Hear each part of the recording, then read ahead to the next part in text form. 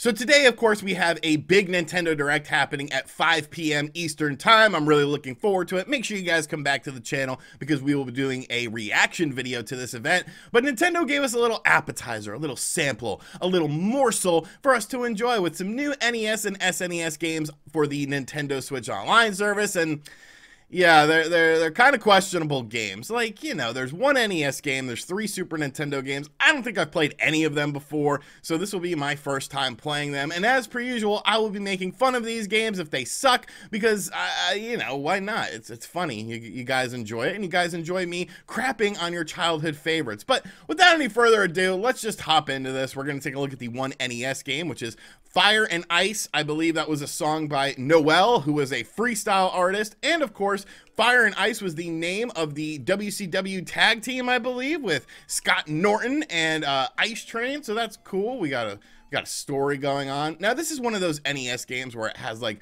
a really, really high price. I believe this is like $150 cart only and I, I just have a funny and sneaking suspicion that this isn't going to be a $150 quality game. We have some sort of story going on. There's Grandma. Grandma's nice and toasty by the fireplace. Good for Grandma.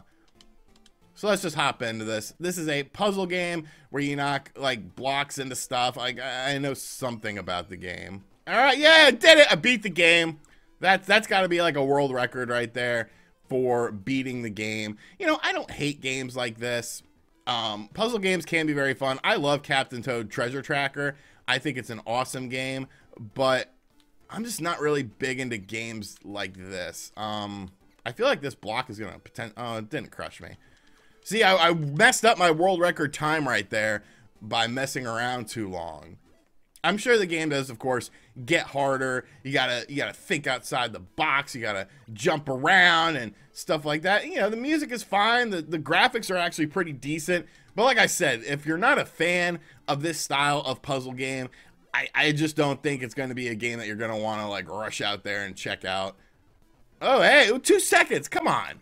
Come on. Who's doing these levels in two seconds? You know what? Maybe I really love this game. And maybe I'm like an expert at this game and I need to play this game more. Uh-oh.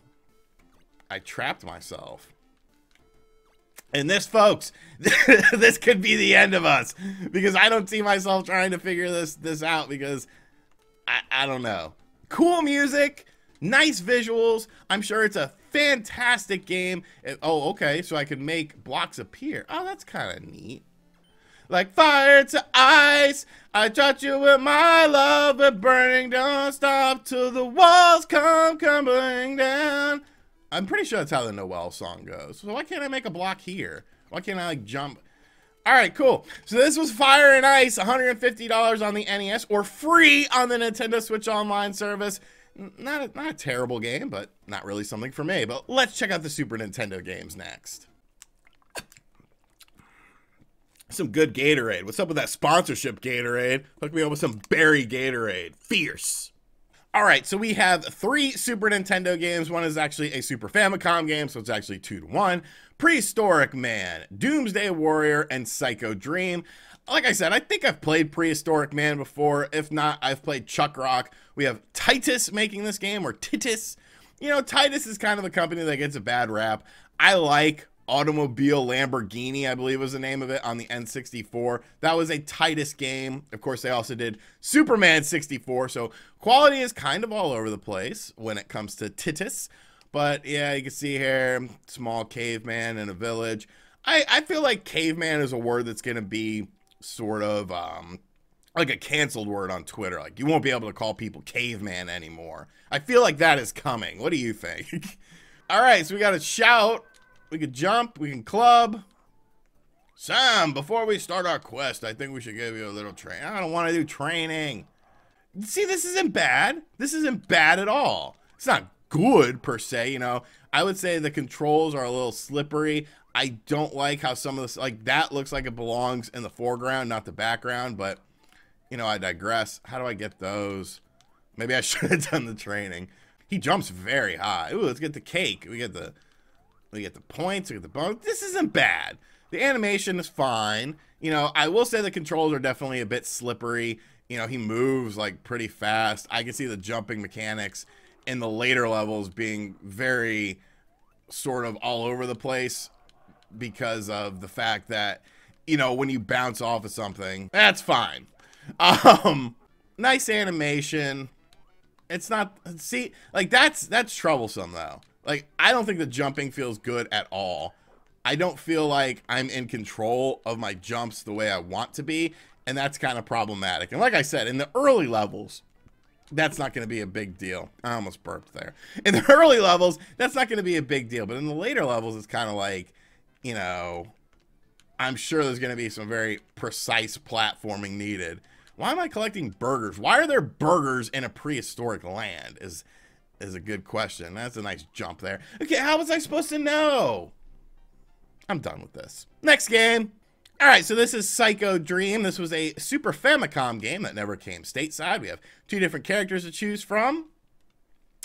Very gripping story right here. But really, it's all about the gameplay. And from what I saw from this game, it looked like a interesting looking game. Kind of reminded me of El Viento a bit, um, just maybe in terms of graphics and styling and stuff. But, you know, this is an interesting looking game here. Our character is much slower than Sam from Prehistoric. Okay, that's cool. Get out of here. Get out of here. Freaking bugs. I mean, I, I, okay, here we go. Here we go. We're leveling up. Our, our attack is now bigger. So it's going to be one of those sorts of games where you're constantly just getting upgraded attacks for your character. Uh, the visuals are nice, a bit simplistic. Controls feel good. Um, I do feel like I have good control over our character here more so than our prehistoric friend. Obviously, games have come a long way since the prehistoric age of Titus. So not not bad, not bad so far. A nice little attack here. I don't really know where to go. I'm gonna assume we go down.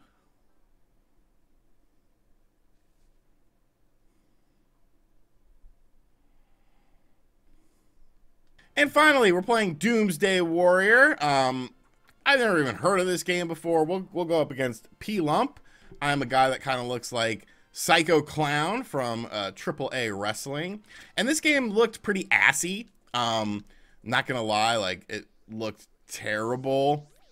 And I have a feeling that this is not going to be very good. So we can jump. We have a jump button, punch, kick. This is... Who this game came out in 1992. So, like, there were fighting games on the market. Maybe not in the home console market, but at least in the arcades to sort of give you an indication of, like, hey, this is where fighting games are heading. And, like, you know, we're talking like Street Fighter. Oh, what the hell was that? This is the. Uh, like the background is ugly. P lump that was kind of neat. Like what? I don't understand though. Like, uh, are special moves just like they break the game like that, and you you got to stop and do a little cutscene? Like this dude is destroying me. The animation sucks. The characters themselves, like, why are they so small? Like, I get it, you know, sprite work on the Super Nintendo. You gotta you gotta work within your realm, but like, ugh, this is bad. Who is deciding that these games Who is deciding that these games are coming to the Nintendo Switch online service? Like, who is sitting there and just like, you know what? This is the game. Doomsday Warrior is the game that the kids want. You know, screw Super Mario RPG, Earthbound, you know, all those games, Turtles, stuff like that. No, no, no, no, no, no. They want Doomsday Warrior featuring Psycho Clown and P-Lump.